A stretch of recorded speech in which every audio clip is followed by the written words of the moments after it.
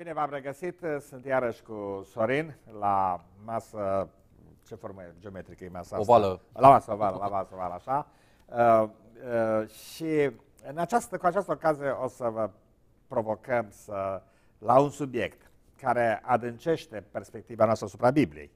În același timp, uh, poate să dărâme niște prejudecăți. Deci vreau să mă adresez lui, lui Florin o întrebare. Sorin, Sorin, mă scuzați, da? Sorin, uh, am observat în predicile tale de la Londra o tendință de a dărâma anumite personaje biblice care pentru noi au fost rol model de, de pe vremea iudaismului. Au continuat să fie rol model pe care le cunoaștem nu numai din Biblie, ci din patriarhi și profeți, le cunoaștem din predici și uh, există oarecum la tine o tendință de a dărâma aceste modele. Mă refer în mod special la două personaje, la Iosif și la soția lui Iov. Uh, uh, încearcă, te rog, să ne dai un răspuns. Care este intenția ta și care este hermeneutica de la care pleci atunci când uh, răstorn cu capul în jos percepția noastră tradițională cu privire la niște modele biblice? În mod tradițional, personajele biblice sunt privite ca, niște, ca un fel de uh, icoane. Da. Sunt icoane pozitive și icoane negative. Uh, este foarte interesant că în orice fel de religie a lumii ne, ne, oamenii se închinau fie la zei pozitivi, fie la zei negativi. Da. Da. Uh, creând și încercând să păstreze o anumită relație în, în, într-o formă sau alta. Uh, noi am uh, păstrat această abordare foarte sinistră a personajelor, încercând să le uh, canalizăm într-o, într-o direcție foarte da. precisă. Și anume, ori este o icoană, ori este o, da. un, un obiect care trebuie să fie aruncat la gunoi. Da. Am încercat, de fapt, să creez o altă manieră de abordare, da. și anume să deconstruiesc, efectiv, mm Uh, acest uh, personaj. Bun, eu am spus dărâmare, tu spui de construcție. Da, nu e, nu e vorba de dărâmare. Ca, care e diferența între de, de dărâmare și de construcție? Uh, cuvântul care ar fi ajutător la deconstrucție ar fi și cuvântul de demitologizare a da, personajului da, respectiv. Da. Adică s-a creat o aură în, în privința personajului, o aură infailibilă. Da. Uh, el este un, pe un piedestal, ca un fel de statuie olimpiană, da. uh, n-ai, n-ai, ori, ori, ori, ori o venerezi, ori o respingi. Da. Ori această, această atitudine stranie, reducționistă, cred că nu funcționează. Un personaj biblic, indiferent dacă este sau nu este, până la urmă, cu virtuți da. sau cu defecte, este un, un, un personaj uman. Prin natura lui uh, umană, personajul este supus uh, oricăror uh, posibilități. Însă noi am preferat să alcătuim un fel de cocktail de virtuți și vicii, Uh, considerând că, uite, aceste personaje le urmăm pentru că au niște virtuți, pe celelalte le respingem că sunt viciate, uh, dar ne dându-le de pe socul Am acela... O întrebare. Începe această percepție uh, subiectivă chiar cu autorul biblic sau începe cu cititorii și interpreții de mai târziu? Vreau să spun că eu merg până acolo, deși asta sună puțin a semi-blasfemie, da, da. Uh, în a deconstrui imaginea lui Dumnezeu. Da, da, da. da imaginea clasică, tradițională, patriarhală, mm, etnocentrică a lui Dumnezeu. Uh, și de la aici ajungi inevitabil la celelalte personaje da. care, într-un fel sau altul, și-au reflectat Uh, trăsăturile, uh, în care s-au reflectat trăsăturile acestui, uh, acestei imagini uh-huh. divine. Uh-huh. Deci, până la urmă, autorii Bibliei, care sunt da. aceia, nu-i putem identifica da. foarte precis istoric, cel care Dumnezeu, cum așa îl percepem pe Dumnezeu, deci este o percepție până da. la urmă, și uh, personajele care apar da. inevitabil în Biblie, care trebuie să fie să sunt selectate. Da. Sunt selectate după anumite criterii pe care noi da. nu le cunoaștem, dar faptul că a avut loc o selecție, asta spune ceva despre natura textului biblic. Da. De orice te- de text, de altfel, uh-huh. orice fel de text, text istoric. Nu? Uh-huh. Din punctul meu de vedere, textul uh, istoric, orice fel de text istoric, este de fapt uh, o, o, doar o reprezentare a unui fapt real. Uh, fapt real sau imaginar, pentru că până la urmă da. anticii gândeau în categorii mult mai relaxate și mai uh, profunde decât gândim noi. Uh, dar uh, istoria ca uh, fapt odată întâmplat pentru totdeauna definitiv și istoria ca discurs, adică redarea acelui da. eveniment uh, ulterior de către un da. personaj, un autor, uh, care inevitabil a da. filtrat uh, acel eveniment sau înțelegerea respectivă prin o grilă uh, mentală, o grilă ideologică, de, astea sunt lucruri diferite. Ori noi avem impresia că atunci când citim într-un text uh, biblic un eveniment, să luăm automat uh, factual istoric. Da. Poate fi istoric, poate fi factual, Dar nu asta e de fapt ideea fundamentală a, a Bibliei. Uh, de aceea, când eu citesc despre, vorbim despre da. personaje, uh, tu ai dat exemplu despre Iosif, despre uh, soția lui, de fapt despre Iov mai degrabă, uh, trebuie să ne gândim exact uh, autorul respectivei uh, uh, narațiuni. Uh-huh. Ce a avut de fapt în minte? Ce a încercat să transmită? Doar o simplă radiografie a unui eveniment mai mult sau mai puțin exactă sau mai degrabă un mesaj care, uh, prin diverse uh, mecanisme literare uh, de care trebuie să fim conștienți, da. mentalitățile care existau în, în, în vremea respectivă, el, de fapt, vrea să înțelegem un mesaj mult mai profund decât noi da. citim la prima vedere. Uh, vreau să spun altă întrebare, referitor la metodologia ta, înainte de a spune întrebări câteva la da. câteva personaje biblice. Uh, deci, uh, cuvântul de construcție. De construcție. Da, cuvântul de construcție are două origini sau două sensuri diferite în cultura puseană. Unul vine de la Heidegger, care în ontologia lui, în uh, form, mă rog, cartea aia greu de citit, despre care toată lumea vorbește și mine nu înțelege. Eu n-am, nu înțeleg, da? Uh-huh. Uh, uh, time, uh, timp și ființare, da? Uh-huh. Sau uh, Time and Being, uh, Zeit und Dasein. Uh, în cartea lui folosește cuvântul de construcție, în sensul că el uh, deconstruiește tradiții în interpretarea unui text vechi, antic, uh-huh. și percepții. Uh-huh pentru a ajunge la sensul real al cuvântului existență, de exemplu, în ontologie. Jacques Derrida ne oferă o altă înțeles al termenului de construcție, în care practic arată că textul se deconstruiește până nu mai rămâne nimic. Și în ultima instanță, pentru Jacques Derrida, nu există un, un sens obiectiv al textului, nu există un mesaj la care să te referi, uh, sau un fapt istoric, sau, mă rog, un mesaj în general la care să te referi, pentru că acesta pur și simplu nu există și totul se termine în aporia. Uh, vreau să te întreb, în uh, deconstruirea personajului biblic, pleci de la ideea modernă a lui Heidegger, cauți un sens care să-l reactualizezi cum face Heidegger în timpul nostru, sau cauți mai degrabă să arăți că orice citire a Bibliei este subiectivă și subiectivă a fost și interpretarea autorului Bibliei, a istoriei și ca atare, noi nu avem adevăr obiectiv, ci doar uh, percepții subiective. Demersul meu încearcă să elibereze textul de, să zic așa, imperialismul cultural. A încercat să faci textul să spună ceea ce tu deja gândești, să vorbească textul limba pe care tu o vorbești, pe de-o parte. Da. Pe de altă parte, să încerc să ajung cumva, pe cât îmi, îmi, îmi, îmi permit uh, competențele și uh, posibilitățile, să ajung cumva la, să spunem, poate sună uh, pretențios sensul da. originar al textului. Da. Dar mă apropii, încerc să mă apropii de fapt ce a intenționat uh, autorul să transmită în primul rând uh, primei audiențe, da. audiențe originale. Da. Pentru că până la urmă trebuie să recunoaștem, noi suntem doar uh, prin extensie, da. uh, face parte din, din această audiență a, da. a autorului. E adevărat că prin uh, um, teoria inspirației noi credem că um, sensul uh, sau mai, uh, textul, mesajul este de fapt valabil pentru toți da. uh, până la urmă, dar uh, indiferent de acest aspect, uh, uh, chiar dacă uh, mesajul transcende epoca în care a fost scris, dar da. forma în care a fost scris mesajul este de fapt foarte mult concentrată culturală. Da, da. Și atunci eu vreau să văd exact cultura respectivă, da. mentalitățile, ce rol au jucat în alcătuirea da. mesajului și încercând să dezbrac textul de aceste, să zic așa, artificii, da.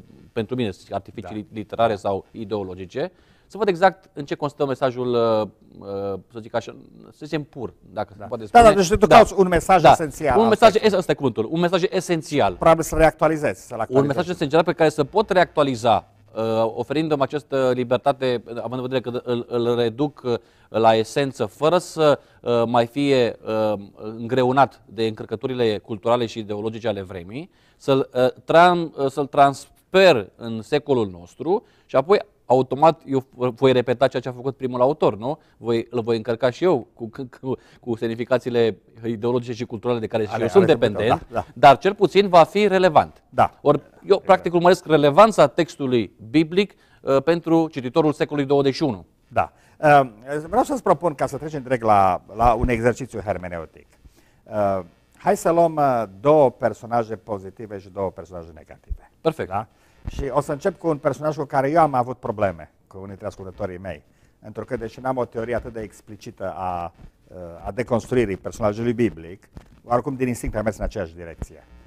În paranteză fie spus, hermeneutica mea, în mare măsură, este mai conservatoare decât cred unii. În sensul că am la bază un citat din Ellen White, uh-huh. cel mai ignorat citat din Ellen White, nu mai cel mai ignorat, cel mai răstălmăcit citat, în care Ellen White spune că uh, uh,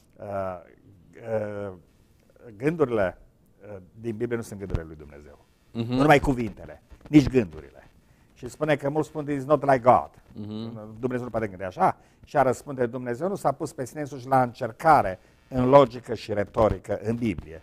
Deci nici raționamentul, nici argumentația nu este a lui Dumnezeu, ci zice, Elena recunoaște că individualitatea este, își puneam amprenta asupra textului biblic. Și am adăugat noi cultura, își puneam amprenta asupra individualității în secolul da. 21, nu? Acum, sincer, ca o paranteză, niciodată n-am înțeles uh, la tine această predispoziție spre, spre Ellen White și spre... Deci mi se pare interesant. Uh, nu uita că eu am fost un conservator fundamentalist uh, și pe undeva sunt în esență. Uh-huh. Adică uh-huh. Eu, uh, ceea ce nu înțeleg mulți dintre, dintre ascultătorii mei este că eu de fapt sunt un fundamentalist. Și de aia sunt atât de radical și nu fac compromis că e vorba de adevăr științific sau logic. Pentru că uh, probabil aici am o mică de diferență față de tine, de, de, o diferență amicală, în sensul că eu sunt mai înclinat spre, spre o interpretare modernă uh, tradițional modernă uh-huh. și iluministă. Uh-huh. Și ca atare consider că dacă textul biblic nu este împăcat cu realitatea și cu logica, înseamnă că uh, este considerat fals. Uh-huh, da? uh-huh. Deci, uh, uh, gândesc dialectic și accept antinomii, dar până la o limită. Nu, nu sunt Uh, nu sunt un ucenic al lui Jacques Derrida, deja îmi place Derrida la nebunie uh-huh. și uh, ca exercițiu de, de, de deconstrucție este formidabil. Tipul. Uh, dar uh, nu sunt un ucenic al lui Derrida, sunt rămân un ucenic, uh, am spus de multe ori, epistemologic mă consider un ucenic la doi poate discutăm o altă despre asta, uh-huh. la doi titani ai secolului XIX, care, epistemologic vorbesc, nu teologic sau care la doi titani ai secolului XIX, Nice. care au fost Nietzsche și Marx. Nietzsche și Marx. Da. Deci mă, mă consider, da. din punct de vedere epistemologic, mă consider da. ucenicul lor. Deci un dialectician și un deconstrucționist uh, care a căutat disperat adevărul până a murit. Uh-huh. Acum hai să trecem la... Uh, aș vreau să propun să începem cu Cain. Deci cu Cain, cu virgule care am avut da. și eu problemele mele, da? Vreau să te întreb, uh, Uh, aplicând această metodă a deconstrucției, cum îl vezi tu pe Cain? Și hai să spunem relația cu Abel, că nu-l putem spune Cain, spune Cain și Abel. Um, aici este o chestiune foarte delicată, având în vedere că noi uh, obligatoriu uh, suntem, uh, să zic așa, uh, atacați de primul aspect care apare în... Uh, e o relație foarte sensibilă Uh, în uh, Geneza capitolul 4, unde apare uh, Cain și Abel, noi suntem la început convinși că aici a fost vorba de un fratricid și da. Biblia așa-l prezintă, textul în sine, prezintă da. o asemenea idee. Însă ceea ce mă surprinde pe mine dincolo de actul, să zic așa, criminal al lui Cain, este reacția lui Dumnezeu. O insistență ca să-și stăpânească pornirile, să nu dea pe față toate aceste manifestări, să zic așa, criminale, dar după ce odată, odată înfăptuit uh, actul, uh, văd foarte multă grijă din partea lui Dumnezeu vis-a-vis de Cain. Uh, Cain Abel n-a fost, să zic, cruțat. Da. În sensul că Dumnezeu n-a intervenit pentru Abel să fie salvat. În schimb, Dumnezeu face ceva pentru ca acest Cain să nu piară în contextul acela de care vorbește chiar el, nu? Să voi fi urmărit, voi fi vânat și voi fi, voi fi ucis. Și aia îmi pun întrebarea, care e mesajul? Având în vedere că reacția lui Dumnezeu este foarte stranie. Ne-a fi așteptat ca Dumnezeu însuși să-l da. trăznească pe Abel, pe, pe Cain, da. nu? Uh, uh, imaginea ulterioară lui Dumnezeu, cea de pe timpul lui Moise, este cea care te, acelui Dumnezeu care te păzește instant pentru păcatul da. tău săvârșit. Da. Ori uh, de ce l-ar pedesi cu moartea pe un călcător al sabatului și pe un criminal l-ar lăsa în viață, da. mai mult l-ar proteja pentru a nu suferi consecințele actului său. Deci aici chiar nu înțeleg de ce uh, autorul a dorit să raporteze acest amănunt. Deci nu e întâmplător. Foarte clar. După aceea, plecând de la momentul acesta, uh, vedem că uh, Cain pune bazele cetății, pune bazele metodologiei, pune bazele, uh, să zic așa... Civilizației. Civilizației, da. da. Muzicii, să spunem așa, da. într-o formă sau alta. Deci, practic civilizația, indiferent ce uh, natură avea ea, dar uh, s-a născut din această depărtare a lui Cain de, uh, uh, să zic așa, uh, izvorul uh, original. Nu? nu cumva este aici o, o percepție destul de fină a ambiguității civilizației. Uh-huh. Mai întâi Cain este agricultor și este foarte clar că civilizația urbană s-a dezvoltat în jurul agriculturii sau s-a dezvoltat în mijlocul agriculturii. Da? Uh, după aceea, uh, uh, civilizația implică toate accesoriile care se descrise mai departe în Geneza. E clar, aici vedem foarte clar revoluția urbană agrară a epocii bronzului și dezvoltarea metalurgiei, a instrumentelor de cântat, dar nu cumva aici este percepută o ambiguitate a civilizației. Civilizația este creată de criminal și nu poate fi altfel. Deci civilizația este necesară. Uh-huh. Jehova știe că civilizația este necesară. Din cauza asta Cain este protejat. Dar pe de altă parte, civilizația implică, din punct de vedere al, al uh, tradiției patriarhale iudaice, nu numai crimă, dar și o erezie. Cain este un eretic, în primul rând, la el, da? Deci Domnul nu privește cu plăcere la jertfa lui. Așa că închinarea lui este o închinare eretică. Cain este un răzvrătit împotriva tradiției. Uh, Cain devine un ucigaș. Dar toate acestea, toate aceste rele sunt inerente procesului de dezvoltare a civilizației. Pe când uh, iudaismul rămâne la, la oi, la corturi, uh, respinge civilizația și nu la ortodoxie. Nu ți se pare cumva că există această dialectică, să zic, aici în istoria lui Cain? E foarte interesant pentru că mai târziu apare sub o altă formă poporul de păstori și agricultorii Egipt. egipteni da, exact. și păstorii, păstorii evrei. Da. Deci ei resping, uh, să zic așa, deși conjunctural ei sunt într-un fel sau altul o extensie a uh, concepției uh, egiptene. Da. Până la urmă evrei acolo în Ținutul Goșen, Iosif a fost într-o mare măsură, dacă vrem, primul egiptean de origine evrei, da. evreiască. Da. Nu? Um, deci e clar că această, această dihotomie între uh, civilizația egipteană și uh, mișcarea uh, evreiască uh, apare e, e foarte clar în uh, Cartea Exodului. Cartea, da. Iar Moise se vrea un uh, om uh, care aparține ambelor lumii. Da. Pe de o parte este egipteanul uh, perfect, uh, uh, contextualizat, da. integrat, Uh, și pe de altă parte este, uh, să zic, uh, itinerantul care umblă de aici acolo încercând să se, să identifice cu soarta poporului său. Da. Deci Moise însuși este un, persoană, un personaj foarte interesant și uh, ambigu. Ambigu și interesant că fetele preotului Madian spun un egiptean despre Moise, în timp social, ce socialul putea spune evreul acela. Evreul acela. Despre Iosif. Despre Iosif. Da. Și aici apare un lucru foarte interesant. E un semn de întrebare cu la originea lui Moise, dar Asta așa ca în paranteză să fie spus, întrucât ideea cu coșulețul reiterează perfect uh, istoria lui Sargon, scrisă cu o mie de ani mai, mai devreme. Uh, mi-aduc aminte de un banc din România, când uh, uh, Itzic este întrebat la școală uh, de rabin uh, care este istoria lui Moise. Și uh, Itzic răspunde, e copilul fiicei lui Faraon.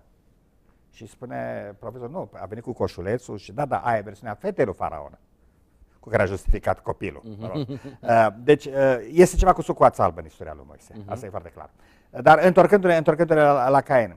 Ce mi se pare mie interesant, Cain, semnul lui Cain, implică oarecum uh, situația uh, stranie a celui sigilat mai târziu. Uh-huh. Deci, uh, în cazul lui Ezechiel, capitolul Ezechiel 9 cu 4, sigilarea, apoi în Apocalips, este om, cel care are un semn ca să fie protejat de Dumnezeu. Dar el este în societate, este homosacer, este individul dat pentru distrugere, care oricine mă va întâlni mă va omorâ, spune Cain.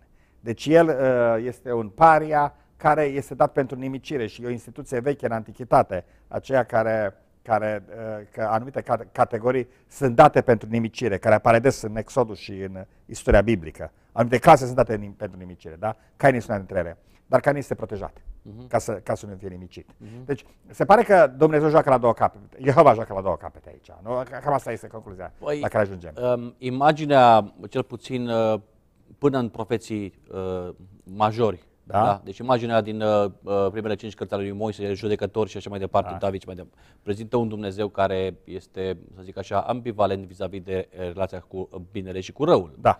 Adică, în același timp, cum ai spus, uh, uh, sicilează uh, pe unul fie pentru da. distrugere, fie pentru salvare. Da. Adică este clar că, în această perspectivă, oamenii gândeau lucrurile în, ca fiind unii, unii polar. Adică totul vine de la Dumnezeu, da, de la, da. de la un singur de sursă, Dumnezeu da. sau zei respectiv. De aceea pare paradoxal acest, acest raport, și anume că Dumnezeu uneori parcă sancționează răul, gândindu-ne la poruncile care le-a dat de a da. nimici, de a rezolva problemele, conflicte prin forță. Alteori, din contră, este cel care apără binele și dreptul celui persecutat. Ori în cartea lui Iov se regăsește iarăși această ambivalență în concepția lui Iov da. nu? și a prietenilor săi. Deci, tocmai asta este problema, pentru că noi nu putem să. Adică noi uh, avem impresia că dacă lucrurile au fost scrise da. în felul acesta, obligatoriu trebuie să înțelegem că Dumnezeu a acționat în felul acesta. Da. Uh, ori a trece de la această uh, imagine, deci este o mhm. reprezentare, da. uh, la o alta care apare mai târziu și care reprezintă Dumnezeu cu totul alte da. uh, uh, nuanțe, uh, mulți găsesc că este o dificultate de a trece de la o etapă la alta. Da. Uh, firește că dificultatea, de fapt, este rezolvată în sensul că percepția scritorului se schimbă. Sau concepția nominalistă Dumnezeu este un abis și este dincolo de bine și rău. Da? Și uh-huh. nu putem să-l suprim la categorii noastre logice sau etice. Dar uh, ambele, ambele cred că sunt adevărate. Vreau să spun altă întrebare uh, înainte de a trece dincolo de Cain. Uh, cum înțelegi tu acest termen uh, enigmatic? Dumnezeu a privit cu plăcere spre, ca, spre Abel și jertfa lui. Uh-huh. Dar spre Cain și jertfa lui Dumnezeu n-a privit cu plăcere. În ce constă în ultima instanță jertfa respinsă? Deci Evul Mediu are acea imagine a fumului care nu se urcă sus, Ellen White adaugă ideea focului care se coboară din cer, uh, plus Ellen White uh, este foarte clar că mistifică mult, susținând că de fapt Abel a adus un miel gândindu-se la la jertfa uh-huh. lui Isus. Uh-huh. Uh, Cain a fost mântuirea prin fapte. Uh-huh. Mai avem cealaltă mistificare că, de fapt, Cain a ascultat și ne-a dus după indicații jertfa. Dar, de fapt, jertfa lui de mâncare este, după toate indicațiile levitice, este foarte, foarte ortodoxă. Deci, în ultima instanță, ce reprezintă această... Uh, întrebarea mea care vă să pun. Este Jehova cel care nu s-a uitat cu plăcere la jertfa lui Cain? Sau este tribul lui Cain cel care nu nu l-a acceptat pe Cain și jertfa tribul, lui. Tribul Abel, adică. Sau, tribul Abel, tribul Adam, să zicem așa, da? da? da, da. Care este printre alte triburi, este foarte clar că uh, autorii prezintă pe, o, pe un pământ uh, deja populat toată istoria asta. Uh, tehnic vorbind, nu văd diferențe între cele două jertfe, având da. în vedere că dacă mergem pe argumentul neprihănire prin credință da. versus neprihănire prin fapte, nu are niciun fel de consistență. Corect, da. Și unul și altul au muncit da. Pentru uh, respectivele exact, uh, da, uh, da. jerfe. Nu? Deși mielul luabil e tot necre prin fapte. Da, deci nu, nu asta e problema. În al doilea aspect, ce ar putea fi? Faptul că respectivul individ s-a gândit la o presupusă jertfă uh, ulterioară sau alt celălalt da. s-a gândit doar la încercarea lui de a-L împăca pe Dumnezeu sau pe da. uh, Jehova, iarăși este greu de uh, prevăzut sau de înțeles acest aspect. Uh, Totuși, e interesantă ideea aceasta, sugestia ta, și anume că, într-o mare măsură, autorul care a scris Cartea Genezei a încercat să ofere o anumită viziune destul de partizană da. vis-a-vis de, uh, cum să spun eu, uh, relaționarea noastră ca Cu trib, Dumnezeu, da. ca uh, etnie vis-a-vis de Dumnezeu. Deci să nu uităm că viziunea, uh, să zic, din, uh, nu numai din Geneza, din practic, din uh, întreg Vechiul Testament, este o viziune etnocentrică. Da. Uh, Dumnezeu nostru este Dumnezeul național, de Dumnezeu personal, Dumnezeu familial, deci pur și simplu noi uh, ne raportăm în acest uh, context. Da. Atunci, tribul nostru versus tribul vostru, religia noastră împotriva religiei voastre, da. identitatea noastră care este superioară identității voastre. Da. Deci am, cred că am putea merge pe această filon, de, pe această filieră Uh, și să explorăm puțin în ce măsură uh, neplăcerea aceasta este a lui Dumnezeu în mod real sau a uh, autorului. Da. E clar că profesiunile erau îmbrăcate în aură religioasă și păstoritul era uh, profesiunea, mă rog, Jehova era un Dumnezeu al păstorilor, se pare, era un păstor, pe când agricultura era uh, profesiunea babilonenilor, egiptenilor, Uh, care implica irigații și geometrie, ca și turnul Babel. Uh-huh. Deci era, era ceva privit cu, cu suspiciune. Uh, ceea ce mi se pare mie interesant, dacă tot mergi la deconstrucție, este vorba de interpretarea Elene White. Că Elene White, uh, la un moment dat, în, în nararea pe care face ea istoria lui Cain, este ideea că Cain era un rebel care punea sub semnul întrebării decizia lui Dumnezeu de a, de a, de a izgoni din Eden. Și Cain considera că nu are nevoie de jertfă de ispășire, pentru că n-a făcut niciun... El nu-i vinovat de păcatul lui Adam și Eva.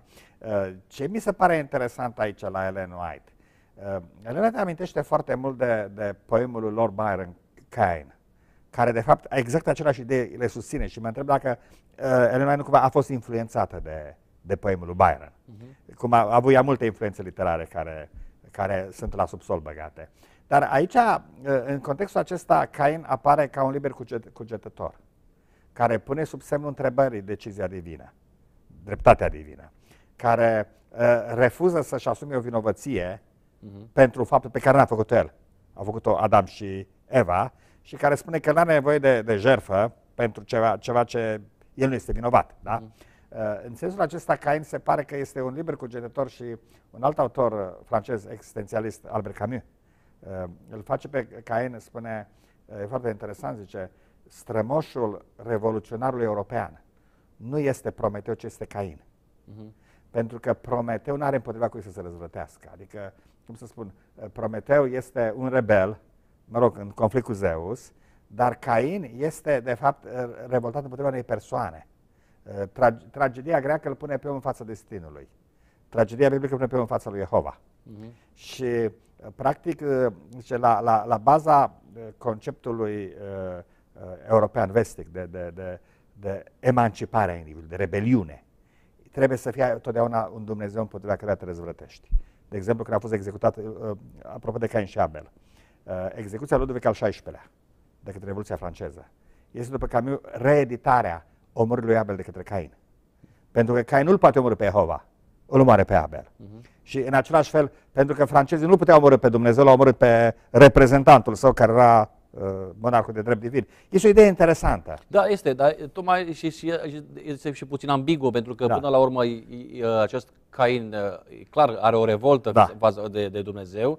Uh, dacă în prima fază nu suntem foarte siguri dacă gestul lui a fost uh, interpretat sau nu da. de către autor, în partea a doua, unde el pur și simplu îl da. își ucide fratele, deja aici nu mai avem uh, uh, nicio da. altă posibilă explicație pentru acest da. gest, e clar. Uh, iarăși, grija lui Dumnezeu este foarte interesantă vis-a-vis de acest individ, uh, dar uh, cert este că uh, rebeliunea, da. indiferent sub ce forme uh, se manifestă, uh, nu întotdeauna este negativă. Da. Nu? Și nu întotdeauna conduce la ceva uh, dezastruos. Uh-huh. Adică până la urmă rebeliunea lui Cain, indiferent că a îmbrăcat forma crimei, uh, a condus la apariția unei civilizații. Corect. Da, indiferent cât a fost ea de primitivă. Ca sau și de... Revoluția franceză. Ca și, da, ca și, dacă exact. Deci excesele, excesele fiecărei, fiecare rebeliuni nu pot fi comentate, sunt da. Uh, inerente în orice da. situație. Dar până la urmă putem spune, deci da. nu trebuie să uh, evităm acest lucru că nu tot ce s-a întâmplat de-a lungul istoriei, chiar având în vedere uh, aceste porniri instinctuale sau, uh, să zic așa, rebele, au condus obligatoriu la, uh, să zic, dezastre. Da. Nu, nu, nu totdeauna. Da. Uh, și ce mi se pare mie, fiindcă vorbim de deconstrucție aici, uh, problema este că noi suntem uh, prizonieri unei mitologii victoriene a istoriei lui Cain și Abel.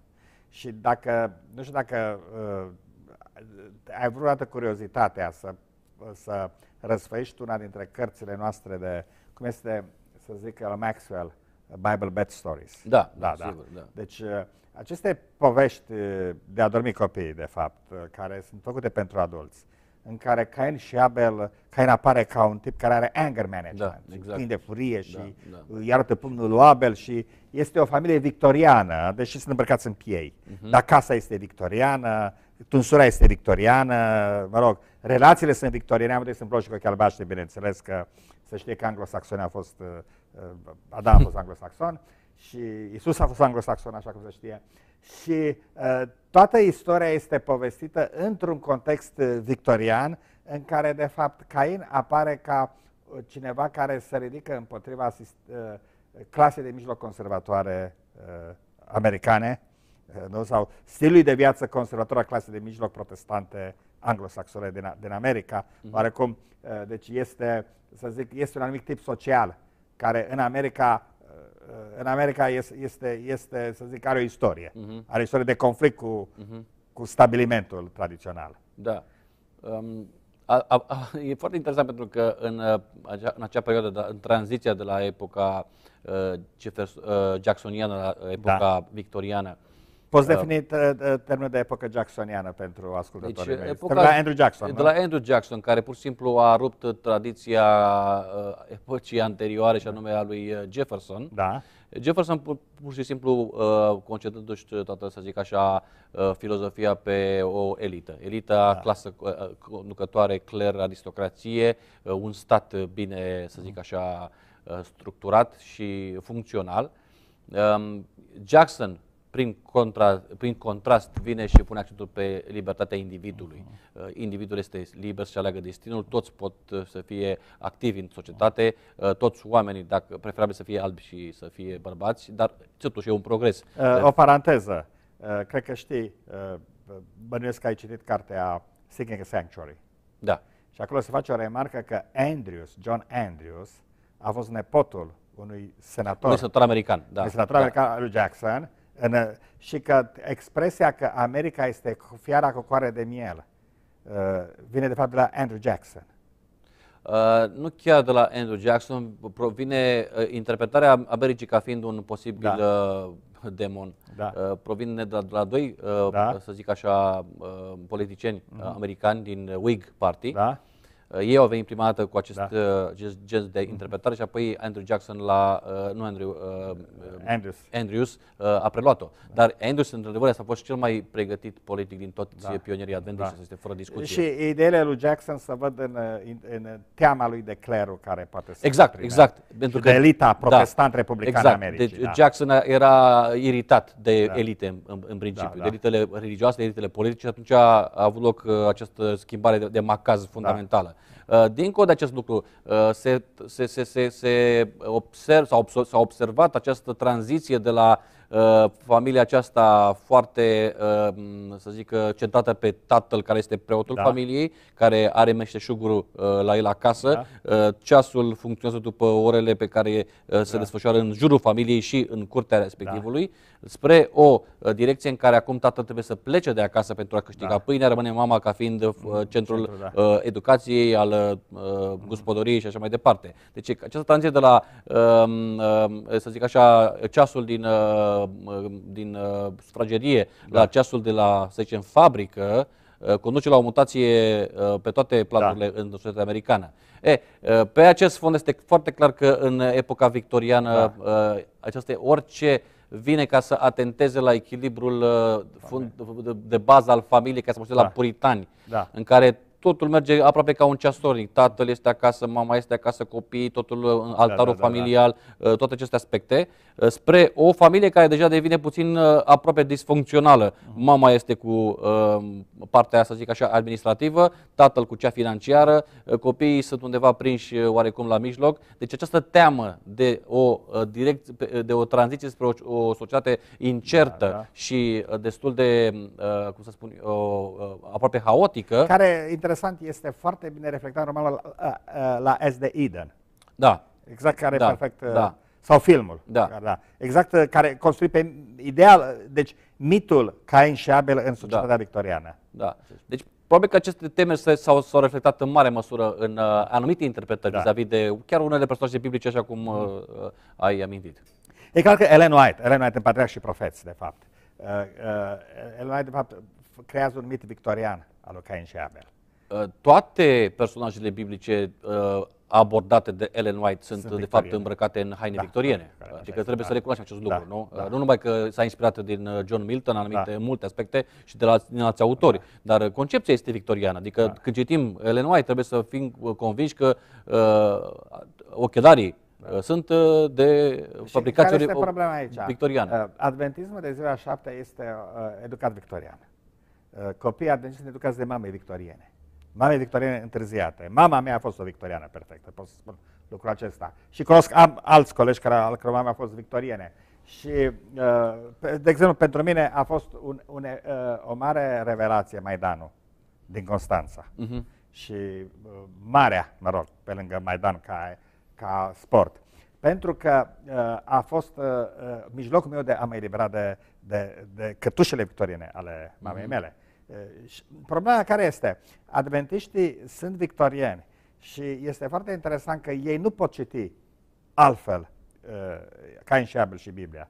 decât prin ochi victorieni și de aceea Ellen White li se pare că este interpretarea naturală și și mie Duhul Sfânt mi-a spus același lucru. Da? De fapt, inevitabilă. Da, e inevitabil, da, da este interpretarea mm-hmm. normală, normal, da. de, de, de bun simț.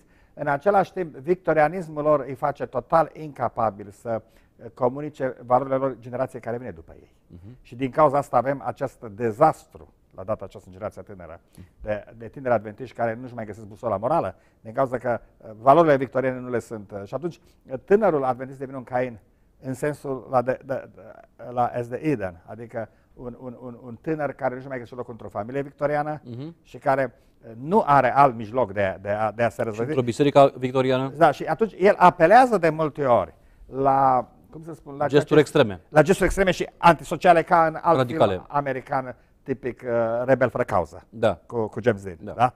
Uh, deci este aceeași, aceeași idee al tânărului pe care nu mai încape în uh, canoanele victoriene și uh-huh. ia motocicleta și devine un gang. Uh-huh. Bun, hai să mergem mai departe. Aș propune să trecem acum un personaj pozitiv, da? Așa. Pentru care știu că ai o pasiune diferită, da?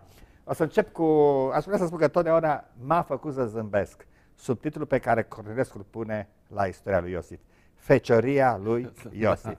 Iosif este un tânăr obsetat să-și apere virginitatea. Oare așa să fie? Da, da, da, da. interesant. Iar ceva victorian, da? da un da, tânăr da, victorian da, da. care este tentat de o prostituată sau de o colegă mai ușoară, da. dar el ascultă ce l-a învățat mama lui.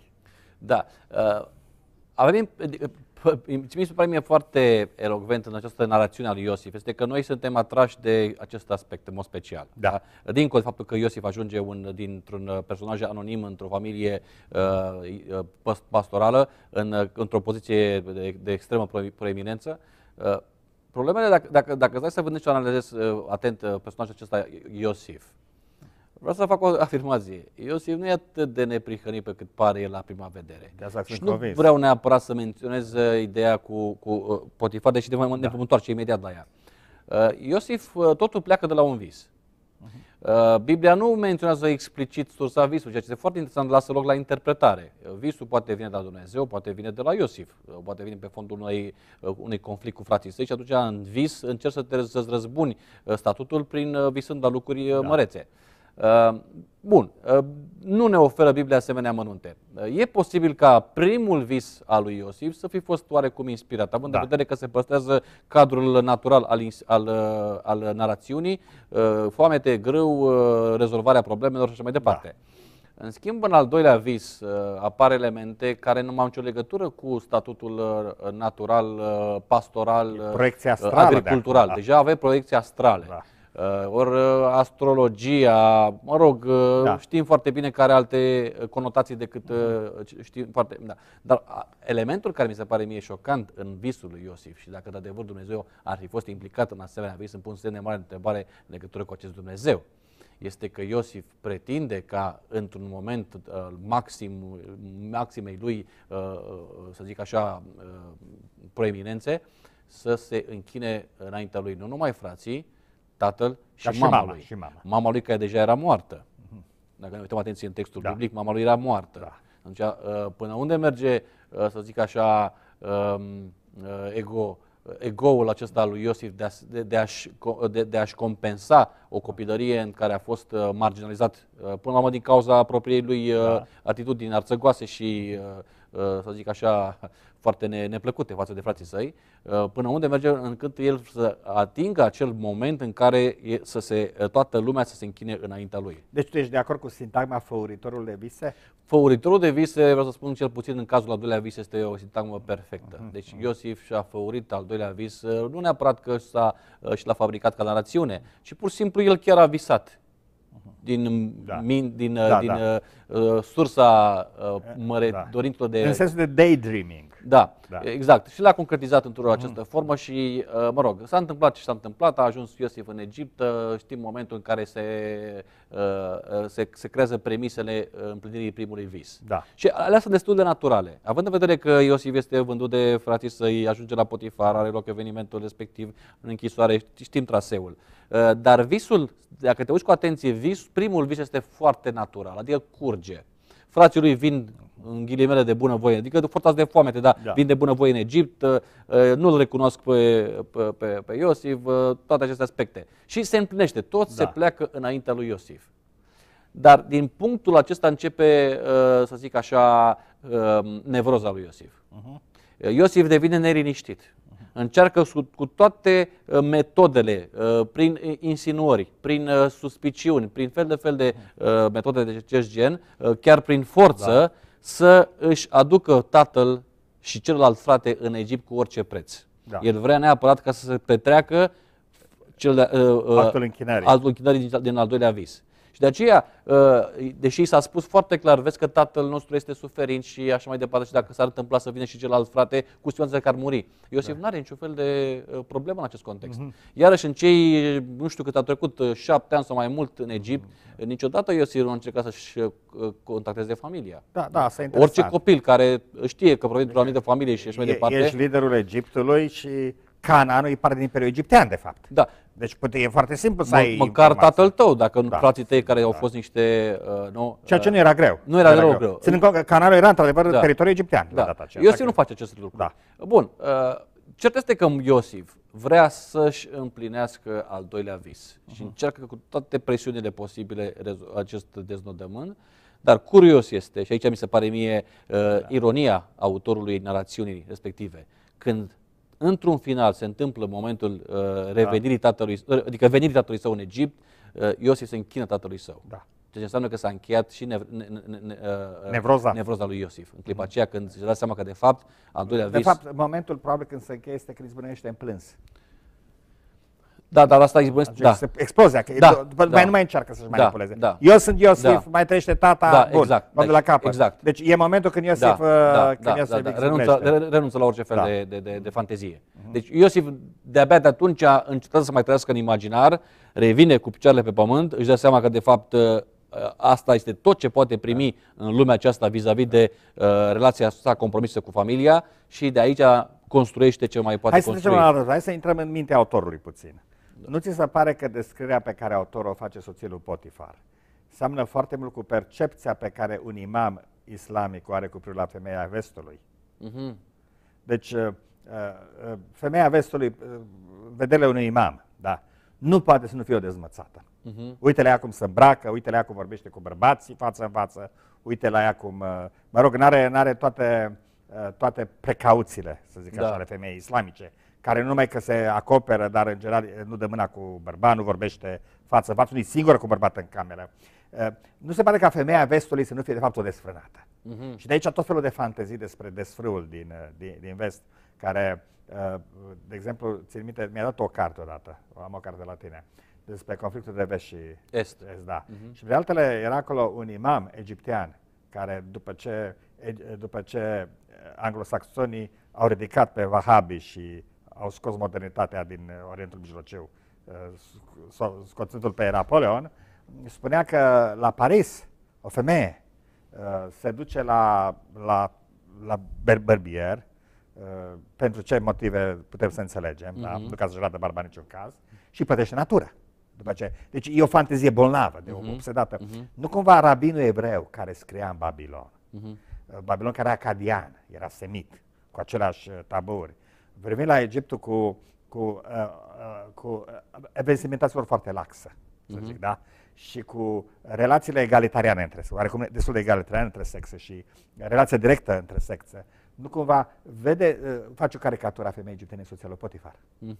Interesant, uite, nu m-am gândit la această da. dimensiune a caricaturizării uh, unui uh, model da. feminin da. uh, de, eu știu, egiptean sau, uh, mă rog, cert este că uh, Uh, nu, nu m-am gândit la chestia asta. Uh, mergând la mitul victorian, da, deci la citirea da, victoriană da, a, da. a istoriei Iosif, de că tot sunt influențați. Da, da. Odată că nu stă în picioare chestia cu fecerea, că ce îi spune lui Iosif, lui soțialul Potifar, nu este, nu vreau să mă culc cu tine, ci tu ești proprietatea stăpânului meu. Uh-huh, deci uh-huh. e dreptul de proprietate al bărbatului asupra femeii, uh-huh. care îl deranjează pe Iosif, nu ideea că își pierde fecioria. Deci, uh-huh. Dar ce interesant, privind la filme făcute de evanghelici, uh-huh. uh, foarte interesant că soțialul Potifar, apare ca o femeie isterică, care cum este percepția conservator evanghelică a femeii care lucrează, uh-huh. care e independentă. Pe, deci există o anumită percepție victoriană a femeii care își caută împlinirea în afara familiei. Și întotdeauna socialul Potifar ca, uh, este, este oarecum pictată în, în filme victoriene, ca fiind tipul ăsta de, de femeie. În timp ce Iosif pare că e un, e un, e un tânăr baptist sau adventist care merge de la țară la oraș sau la un college și o, îl, e asaltat de, de o, o femeie puțin mai în vârstă ca el și el este speriat și timid și nu știe unde să fugă. Deci are și este o, Da. o, o mistificare victoriană a Da, istoriei scrise de Acum, evreu. ca să completez profilul tău, uh, vis-a-vis de uh, Potifar, soția lui Da. Potifar, întotdeauna soția lui Potifar reprezintă ca o, ca o divă, ca un personaj uh, Da. frumos, feminin, uh, Da. ispititor. Da. Uh, Deci cineva care e irezistibil. Și cu Da. atât mai mult uh, virtutea lui Iosif se remarcă pentru că el uh, respinge Da. un model. Da. Dar respinge ceva uh, extraordinar, nu Da. respinge, de fapt, uh, de unde știm noi că, de fapt, Iosif nu respingea un, o, o caricatură până la urmă? Categoric, da. Și până la urmă, uh, reacția lui, bine, e adevărat că îi, îi, îi invocă pe Dumnezeu, dar până la urmă putea să fie și reacția unui individ care fuge de o pers- pe- perspectivă cu totul și cu totul neplăcută. Da, uh, uh, sorry, acum, fiindcă vorbim, deci, dacă privim textul din punctul de vedere a celui care l-a scris, da? Nu știm cine a scris Geneza, Da, ok? da. Dar avem o suspiciune că textul, orice fi cine l-a scris sau orice tradiție a reprezentat, a fost redactat pe vremea lui Ezra. Uh-huh. Mă refer la un eveniment uh, care pe mine mi s-a părut monstruos de timpul lui Ezra. Uh-huh. Anume, porunca lui Ezra ca uh, evrei care sunt căsătoriți cu uh, rase inferioare, care Ah. nu sunt pur sânge, da? Da. Că Evrei care au călcat legea din Nuremberg. Uh, Aș vrea să spun legea din Nuremberg că a fost susținută și de evrei și de germani. Asta e interesant. Adică și evrei au saltat legea din Nuremberg ca în sfârșit o intervenție a lui Dumnezeu ca să nu se mai facă amestecuri necurate. Deci evrei care au călcat legea din Nuremberg pe vremea lui Ezra, li se cere, într-un mod foarte nazist, să-și gonească soțiile și copiii, uh, fără ni, ni, niciun resentiment, uh, care este iarăși Avram, aceeași istorie se repetă prin uh, duritatea cu care Avram o, o gonește pe Agar, doar cu un burtuf de apă și- pe un măgar și se duce. Avram care era arhimiliardar la timpul lui, da? Uh-huh. Dă papucii lui Agar, uh, se vede, pentru că era uh, altă rasă. Mă gândesc că uh, uh, de, uh, pic, uh, uh, imaginea lui Eva în grădina Edenului, imaginea lui Agar, care e o femeie independentă, să vedem, Agar vorbește cu, Jehova, cu, cu îngerul Domnului, uh-huh. ceea ce Sara nu face. Deci la Sara, Avram vorbește cu îngerul Domnului, Dagaria vorbește cu îngerul Domnului, ea, ea, îl ia pe copil, îl aruncă, îl salvează. Uh-huh. Deci când Ismael îl capotează, Agar e încă în picioare. Da? Deci Agar e femeia puternică. Uh, uh, uh, apoi soția lui Potifar, egipteanca care este, uh, după toate standardele, contrar uh, filozofiei lui Ezra, asta e foarte clar. Uh-huh. Egiptenii, uh, ca ținută vestimentară, ca relații între sexe, erau foarte mulți ce au fost grece mai târziu. Uh-huh. Adică oameni fără prea multe tabuuri, știi? Și p- pentru, pentru rabinul evreu lucrul acesta era scandalos. Apoi urmează uh, uh, uh, soția lui Samson, care uh, după aceea se metamorfozează în Dalila, uh-huh. femeia filisteană uh-huh. și, așa mai, și așa mai departe, la fel o, o ispită. Deci, se, uh, dacă merg mai departe și trec de canonul Vechiul Testament, ajung la po, po, pocriva lui Enoch. Uh-huh. Și la pocriva lui Enoch îngerii se încurcă cu femeile și le învață pe femei să-și facă ochii, foarte interesant. Și femeile acelea început să practice medicina, plante medicinale și uh, învață pe copiilor uh, astronomie și scrisul și uh, uh, arme de bronz și metalurgie și așa mai departe ca în Geneza și așa vine răul în lume. Nu cumva este aici, o, de fapt, o interpretare a is- a discursului istoric. Este privit printr-un ochi de rabin, etnocentric și foarte, foarte patriarhal. Și foarte rasist în ultima instanță. Extrem de rasist. Deci n-ai cum să uh, parcurgi lectura biblică, Da. mai ales în prima parte a Bibliei, mă refer Vechiul Da. Testament, fără să rămâi cu impresia unui uh, etnocentrist și a unui uh, Da. spirit patriarhal. Da. Uh, femeia fiind considerată nu doar uh, o, un accesoriu Da. obligatoriu pentru uh, perpetuarea rasei Da. umane, dar uh, m- pur și simplu ca fiind uh, un uh, uh, atentat la echilibrul uh, Da, da, da, da, da, societății, da, da, da. dacă ea nu este ținută între niște Exact, uh, da. convenții și niște norme. Care s-a ajuns la extreme la islam. Exact, Da, exact. Um, Deci aceste aspecte sunt foarte, uh, cum să spun eu, evidente și uh, mi se pare uh, mie grav. Uh, Da. Nu este faptul că oamenii gândeau așa în, în, acea, în acea perioadă. Era comună percepția Da, și mentalitatea. Ce mi se, pare, mi, se, mi se pare grav este importul acestei mentalități într-un secol Da, uh, modern da, și după da. aceea postmodern și așa Da. cum vrem să mergem mai departe uh, și justificând atitudinea față de femeie mergând de la uh, sintagma așa vorbește Domnul sau alte asemenea Da, da, da, uh, da. construcții. Uh, și aici ajungem, uh, pentru că tot ai deschis uh, uh, subiectul ăsta cu, cu, cu femeia, uh, ajunge la un personaj foarte, foarte marginalizat și demonizat. Probabil că este singurul din toată scriptura, nici Eva nu capătă asemenea uh, culori în portretul ei, uh, cum uh, capătă soția lui Iov. Am ascultat predica despre soția lui Iov, da? Da. Și fiindcă am ascultat despre asta, că am ascultat și altă predică despre soția lui Iov, cu mult în urmă la București, Mm. în care un pastor a spus așa, uh, nenorocirile lui Iov veneau de la Dumnezeu sau de la satana? Mhm. Și veneau de la satana, care e dovada? Dacă erau de la Dumnezeu, îi mora soția. Satana i-a lăsat soția. Deci, uh, da, e- da, hai, hai să Foarte- ne întoarcem foarte la, la... interpretare. Deci, avem nevoie de o deconstrucție a unui mit Foarte- aici, foarte interesant, indiscutabil. Da, da, da, da. Uh, Interesant, am citit o carte, uh, uh, se numește The History of Misoteism. Da? Istoria mi- miso- misoteismului. Da? Uh, Cei care îl urăsc pe Dumnezeu. Da, da. Uh, Curios, f- f- soția lui Iov este primul misoteist din istorie. Asta e considerat de către autorul Mhm. Da, cărții. da. Mă rog, percepția generală, nu neapărat autorul cărții.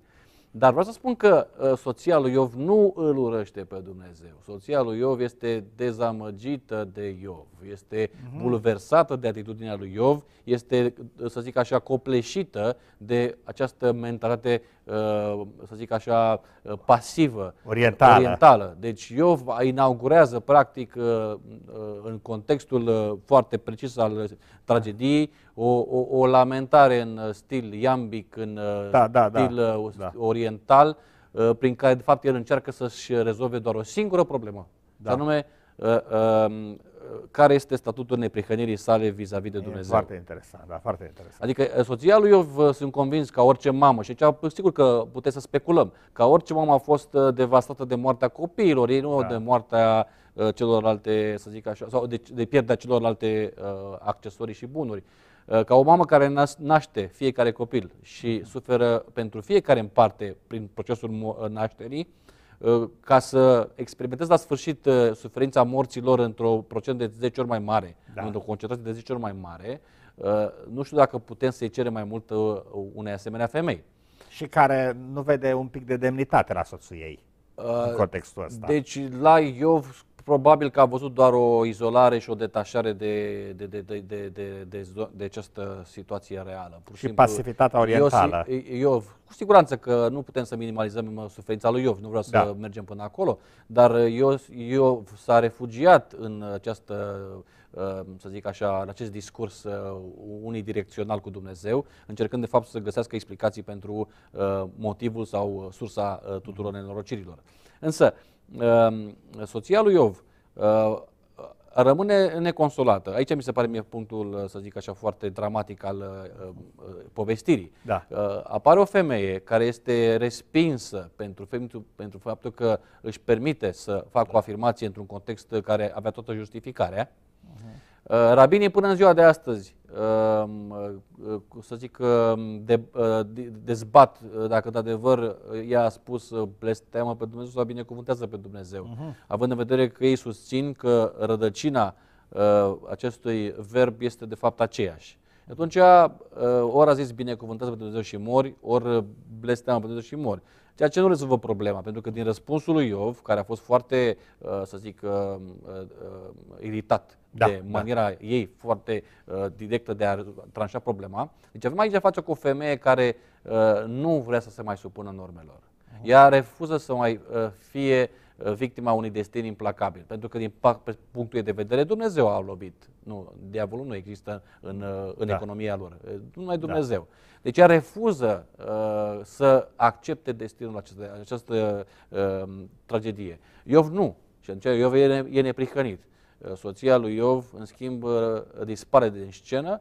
E- Evident, autorul, uh, mânat de același spirit patriarhal, uh, nu doar că uh, are loc acolo un fel de, să zicem, uh, uh, character assassination uh, Da. din ce privește punct de partea literară, deci pur și simplu o scoate pe, uh, își omoră personajul, da? îl Da. trimite în uh, derizoriu, Uh, nu se știe a murit uh, sau uh, femeia de durere sau eventual se regăsește la sfârșit prin nașterea celor 10 copii, care, fie vorba între noi, nu este o compensare, Da. având în vedere copiii care ai pierdut nu mai poți să mai și dacă, recuperezi și niciodată. dacă Ios, Iov i-a făcut cu alta. Păi de nu se știe niciodată, da. nu, nu apare sub nicio formă și nu știm, nu avem aceste. Rabinii uh, conservatori spun că de fapt uh, soția lui Iov a murit de durere, iar Iov, iar Iov s-ar fi căsătorit cu Dina, uh, fica lui, fica lui Iacov, lui Iacov da. și de aceea copiii au fost de 10 ori mai frumoși și mai grozavi și uh-huh. așa mai departe. Ceea ce uh-huh. e interesant de ce rabinii gândesc și uh, în această direcție.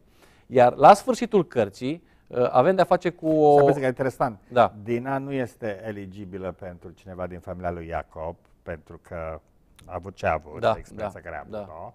dar unul dintre goimi o poate lua și goimul oarecum își nobilează sângele. Cu, da, cu bine, asta este speculația lor, sigur da, că da, dar putem da. construi pe o anumită uh, mentalitate, e posibil, da, da cu siguranță.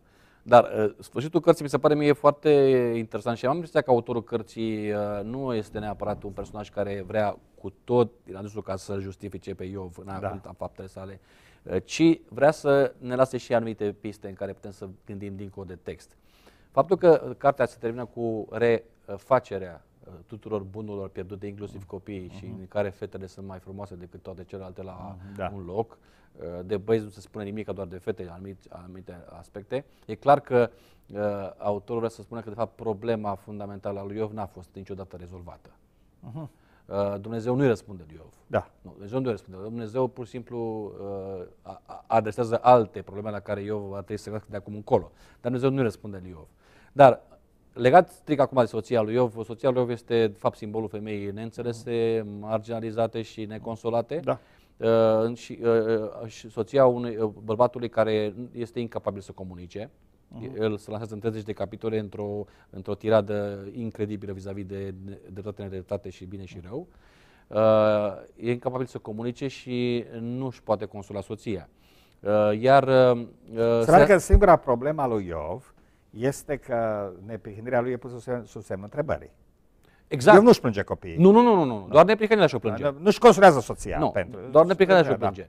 Uh, aici văd simbolul bărbatului care se ascunde în spatele religiei uh-huh. și a lui Dumnezeu. Uh-huh. Pentru că cea mai comodă explicație, cea mai comodă ascunzătoare este în spatele lui Dumnezeu, justificându-ți uh, inactivitatea, da. uh, lipsa de empatie și de, de, de, de solidaritate cu ființa de lângă tine, uh, uh aducându-l în pe Dumnezeu.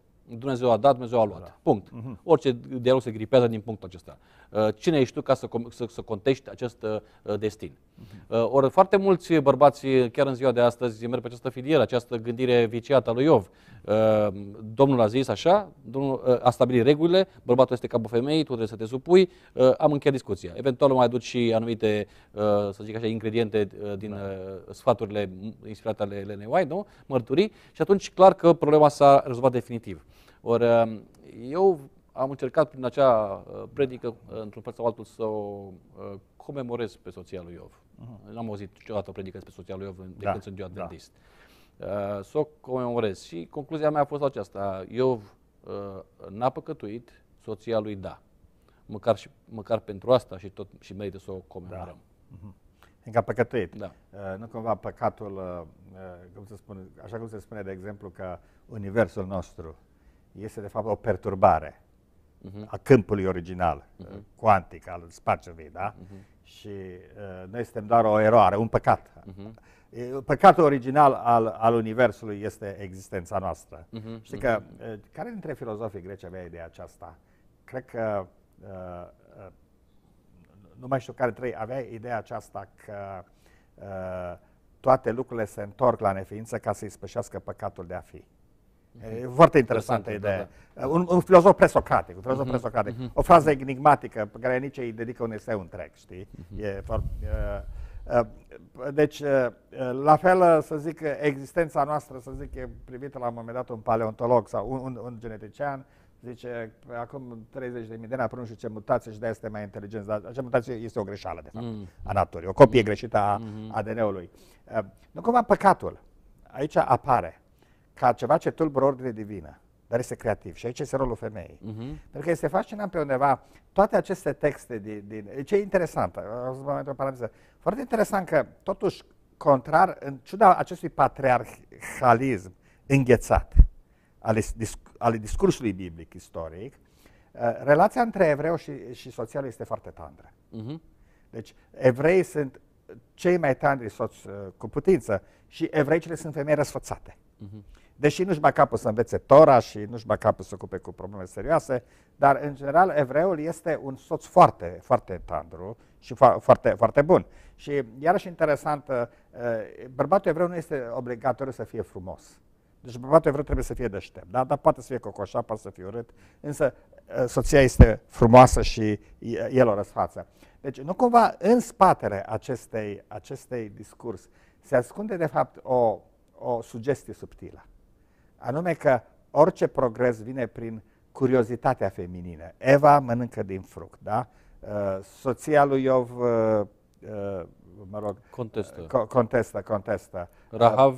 Rahav, Rahav, iarăși, exact, Rahav, uh-huh. sau dacă e pe Rut, iarăși. Uh-huh. Iarăși Rut da, este da, totuși, da, da, da. până la urmă, cea, mi-am duc aminte de o, o soră puțin mai zânatică, care aveam eu într-o district, care zicea, păi dacă aș face eu ce ar face Rut, nu mai exclude. Femeia avea niște probleme rezolvate. Însă, ce interesant este că ceea ce face Rut, când îi dezvălește picioarele uh-huh. lui, lui Boaz, este un eufemism acolo foarte clar, Eh, este un, un, un aspect scandalos. Dar în toate acestea, femeia aduce pe așa perturbarea echilibrului patriarhal, uh-huh. care în ultima instanță generează progresul. Și în momentul când Ezra gonește femeile, de fapt, uh-huh. a înghețat iudaismul în tipare. Este iudaismul înghețat care îl va răstigni pe Isus. Rigid și da. Uh, fundamentalist. Care duce la moartea lui Isus. Da. Isus care de altfel a stat de vorbă cu, cu prostituatele și cu femeia la fântâna lui Iacob, deci da. cu totul, cu totul, care mhm. merge în, în, într-o direcție totală, da, exact. total opusă iudaismului. Aici mi se pare mie un lucru extraordinar, pentru că în, în ciuda uh, tendinței autorilor Um, Scripturii ca să imprime această viziune patriarhală da. asupra uh, mesajului, observăm uh, uh, in, intervenția lui Dumnezeu prin inspirație da, ca da. Să, să, să lase sau să um, uh, pur și simplu să pătrundă prin aceste, da, acest da. văl uh, foarte fundamentalist, să pătrundă prin aceste exemple, uh, apare ca niște Ai, mici luminițe. Da, care... da, e Biblia mare. Da. Și aici probabil intră acea ideea lui a, a Derrida că textul se contrage da. pe el însuși și se, se da. autodesfințează. În fond, vechiul, probabil cunoști bine teologia lui Marcion uh-huh. și chiar un prieten de nostru comun m-a acuzat că sunt marcionist. Uh-huh. Dar e indiscutabil că Marcion a deschis o dezbatere despre Vechiul Testament care a fost foarte fructuoasă în istoria teologiei. Uh-huh. Anume că, de fapt, vechiul, mă rog, ideea că există doi Dumnezeu este da, o interpretare da. mitologică, dar ideea că Vechiul Testament nu este adevărul despre Dumnezeu și Isus este adevărul despre Dumnezeu. Este una idee care a dus-o Marcion și că uh, Vechiul Testament și chiar anumite evanghelii influențate de iudaism trebuie privite uh, critic, să zic. Da, eu aș spune că uh, aici uh, Vechiul Testament de fapt uh, reflectă o anumită mentalitate da. vis-a-vis de Dumnezeu și atunci poți să eviți cu succes uh, această da. categorisire marcionistă și așa mai departe. Care e și negru. Avem de-a face cu, re, cu reprezentări, da. care interesant se, se uh, capătă niște uh, modificări de-a lungul timpului. Deci că uh, într-un fel arată Dumnezeul uh, din Eden, da. uh, apoi a lui Cain, da. Dumnezeului Moise și a perioadei da. Exodului, Dumnezeului judecătorilor și a lui Iosua, care este da. foarte uh, violent și foarte da. repre, uh, represiv și așa da. mai departe. Care apelează la soluția finală. Da, exact. Uh, după aceea avem Dumnezeul, uh, să zic așa, uh, împăratul care este destul de politizat. Da. Uh, ajungem la Iona, care mi se pare incredibil, o imagine cu totul diferită de tot ce știm noi despre Dumnezeu, într-un da. Dumnezeu universalist, care pur și simplu se gândește la uh, 120.000 de oameni da. și face tot ce poate ca să-l... Inclusiv la animale. Inclusiv la animale, da. exact, exact, inclusiv la animale. Și uh, apoi, mergând pe filiera profeților care deja pun accentul pe etică și nu pe ritual și deci clar care loc o dezvoltare, da. o evoluție a imaginii despre Dumnezeu. Uh, culminând cu uh, revelația lui Iisus Hristos, nu? Da. Deci uh, avem de face cu reprezentări pe care dacă nu, nu, nu, le, nu, le, nu le identificăm și nu le explicăm da. cât, cât putem în contextul respectiv, ajungem la, să zic așa, atitudini aberante vis-a-vis de relația noastră cu da. ceilalți, cu femeile și de aceea mă întorc puțin. Dumnezeu a reușit să strecoare da. câteva femei în da. Vechiul Testament. Îmi place asta, Dumnezeu a reușit să strecoare da, câteva pentru că, nu, uh, pentru că tendința era ca să închidă orice portiță da. pentru, uh, fe, pentru sexul da. feminin. Da. Deci le-a, le-a, le strecurat pentru ca cititorul atent să vadă da. că de fapt uh, eu, da. Dumnezeu, uh, sunt Dumnezeul tuturor oamenilor și mai ales al femeilor. Da. Deci mai ales al femeilor. Iar Isus, cum ai sugerat, da. confirmat într-un mod da. cu totul uh, scandalos pentru da. uh, uh, sensibilitățile spirituale ale contemporanilor săi, uh, rolul fundamental al femeii. Uh, pentru că prima persoană care aduce vestea lui Isus în viață, de fapt, prima persoană care îi se arată Isus Este o femeie. Este o femeie, o femeie dubioasă, cel puțin, da? Tot, da, da. Maria Magdalena. Da, totul începe cu, cu două Marii, da, Da, cu, da. Prin Iisus, prin, da. printr-o Marie se naște și apoi printr-o Marie... Exact, da, da, Și este uns de o I- i- altă i- Marie. Da. Da. Este clar, clar o, o simetrie literară. Da. literară. Uh, uh, pro, uh, mi se pare mie că acest misoginism atinge culmea în Apocalipsa lui Enoch. Și în Apocalipsa lui Enoch, femeile sunt uh, cele care introduc răul în lume, pentru că ele ispitesc pe îngeri. Și acolo acolo avem prima idee a faptului că o femeie poate ispiti până și pe îngeri. Mhm. Dacă nu este decentă să-și acopere capul, și, mă rog, să seama că îngerii văd de sus știi, Da, și da, femeile exact. cu capul descoperit. Da, da. Ce catastrofă! Deci, femeile le-au ispitit pe, pe îngeri și după aceea femeile, de fapt, au rolul principal. Și care este problema? Mi se pare că e interesant în, în, în Vechiul Testament sunt câteva aspecte istorice, care e o interfață mitologică, au elemente foarte reale, pe care orice antropolog le recunoaște. Una este că trecerea de la matriarhat la patriarhat, care apare odată cu Revoluția Agrară, și clar că patriarhatul este mult mai puternic într-o societate de păstori decât una de agricultori care era urbană. Prin, deci, societatea uh, agrară din uh, Orientul Mijlociu era urbană. Și urbanismul implică totdeauna alt gen de relații între sexe decât... Uh, Acum, deși la acum, ca o, corp, ca o da. mică paranteză, acum și Da. să nu, să nu-ți pierzi ideea, se pare că i- um, ideea matriarhatului a Da. fost supraaccentuată, Da, mai ales sunt corect, în sunt corect, ideologia da. comunistă. Da. Uh, istoricii, antropologii nu sunt foarte convinși cât de influentă Da. a fost această perioadă și dacă a fost cu adevărat o, o perioadă și doar... Dar nu- cert e că a fost o da. perioadă mai egalitariană între da. sexe. A, înainte. asta da, asta mai... Da. Uh, lucrul care vreau să-l accentuez este altul. Ce mi se pare interesant? În mod tradițional, în societățile uh, dinainte de geneză, să zic, și rămânem că în societățile din extrem orient, în uh, societățile tribale, medicul este femeia. Mhm. Deci femeia este cea care cunoaște plante medicinale și leacuri și așa mai departe și din, din mamă în fică se transmit, cum e medicina chinezească în care se transmit din mamă în fică. Și uh, ce este interesant că uh, în Exodus sunt interzise uh, buruienile de leac. Să nu fie la tine nici, uh, sunt asociate cu vrăjitoria. A, da. Da, să nu fie așa. Uh, și uh, uh, uh, în Apocalipsa lui Enoch ni se spune că demon, mă rog, îngerii căzuți le-au învățat pe femei uh, uh, plante medicinale. Uh, plantele medicinale sunt asociate cu vrăjitoria. Și în, uh, în uh, legile levitice, cel care dădea diagnosticul bolii era preotul. Da. Și preotul de obicei nu recurge la plante medicinale, ci la exorcism. Nu există nicio, uh, cu toate că noi cu, care privim prin uh, reforma sanitară, încercăm să vedem originea uh, tratamentului naturist undeva în Biblie, turta aia de smochine, a pusă Mm. peste Ezechia Da. și așa mai departe. Dar, de fapt, uh, Vechiul Testament este categoric împotriva uh, uh, tratamentelor naturale. Pentru că, mai întâi, uh, acele buruieni de leac sunt un blestem, spinul și pălămida. Uh, După aceea uh, sunt oarecum asociate cu vrăjitoria și cu femeia și din potrivă bărbatul este cel acum care face și așa mai departe. Un alt aspect este că e clar că femeia este asociată cu curiozitatea științifică în Apocalipsa lui Enoch. Și asta corespunde foarte bine cu rolul Evei în grădina Edenului. Femeia este curioasă și curiozitatea este lucru- un lucru rău. Deci înțelepciunea uh, Vechiului Testament din Eclesiastul n-are loc pentru curiozitate. Deci înțelepciunea implică o viață trăită în temere de Dumnezeu, dar curiozitatea de a înțelege lucrurile, cum funcționează, uh, este condamnată chiar și în cartea lui Iov. Poți să-ți explici puterea nor și așa mai departe. Femeia este curioasă. Să ia, să vadă cum e fructul, că e plăcut, că nu știu ce, să, să vadă cum e cu șarpele, că nu știu ce. Femeia umblă prin grădină, pleacă de lângă soțul ei, femeia e curioasă.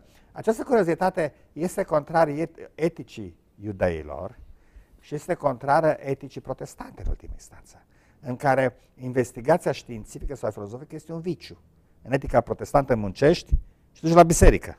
Știi? Și nu întâmplător în perioada victoriană, femeia este medicul familiei. Da, categoric. Dar interesant că femeia redevine medicul familiei Mhm. în per- perioada victoriană, dar în general în perioada victoriană nu este conștientă de acest ca- caracter, uh, uh, caracter să zic, vrăjitoresc Da. al, al medicinii de familie. Deși tot- tot- totuși rolul mamei în perioada victoriană era mai mult decât de a fi medicul familiei, ci și Da. educatorul familiei. Da, că trebuie să corect. recunoaștem că tatăl nu se ocupa de educația Da. copiilor, doar se ocupa de uh, sus- subzistență și de alte uh, elemente. Dar mama e aceea care îi educa, îi ajuta să dezvolte pe planul ăsta intelectual atât cât uh, Da, reușea să... Nu ți se pare că perioada victoriană, fiindcă am deschis subiectul, Da. este o perioadă de transformare a teologiei creștine de către femei?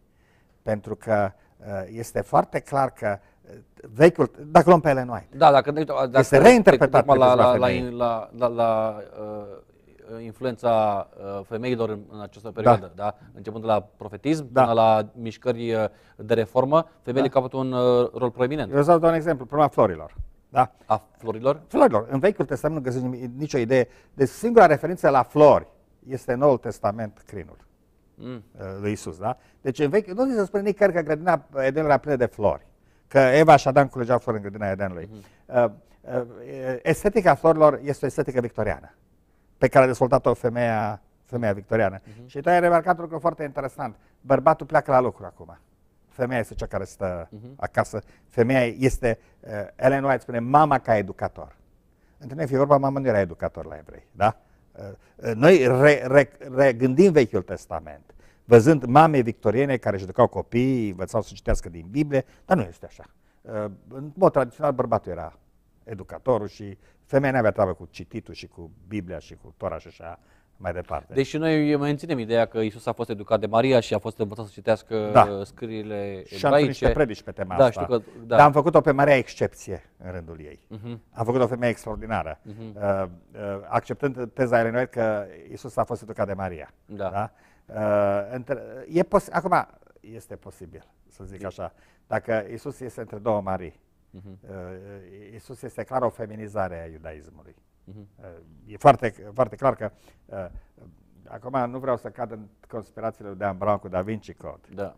dar anumite aspecte în Evanghelia după Ioan sunt destul de clar dubioase Mhm. eh, în privința, eh, în privința rolului Mariei Magdalena, Mhm. care apare și în Luca, adică mă refer la faptul că Marta vine scandalizată că Maria stă între ucenici, deci pentru că Iisus își învăța ucenicii și clar că Maria s-a stat între ucenici.